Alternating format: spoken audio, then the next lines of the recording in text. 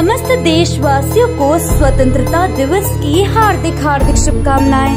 सौजन्य से श्रीमती बालकुंवर बाई सरपंच, श्री जगदीश मेवाड़ा सचिव, ग्राम प्रतापपुरा, जनपद पंचायत काला पीपल, जिला शाजापुर, मध्य प्रदेश।